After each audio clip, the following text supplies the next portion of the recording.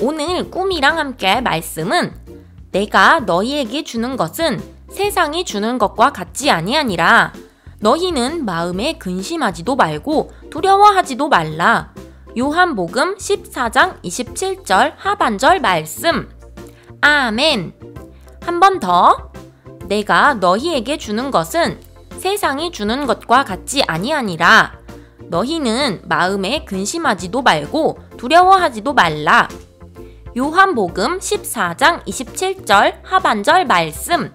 아멘. 친구들, 무서워하지 말고 겁내지도 말고 예수님 안에서 행복한 하루 보내. 그럼 내일 또 만나.